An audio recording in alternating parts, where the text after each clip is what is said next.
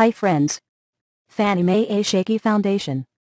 Dennis Kozlowski took over the helm of Tyco International, Ltd.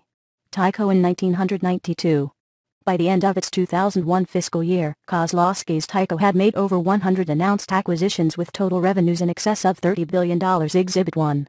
Kozlowski's strategy, called Growth on Growth, fueled Tyco's aggressive approach toward acquisitions and took the company from just over $3 billion of sales in 1992 to $36 billion in 2001. Investors supported Tyco's strategy, as evidenced by the tenfold increase in Tyco's stock price over the same period Exhibit 2. Analysts also lauded Tyco, issuing reports with titles like The Proof is in the Great Numbers. By. But was the proof really there? This case describes the financial state of Fannie Mae prior to its entering government receivership.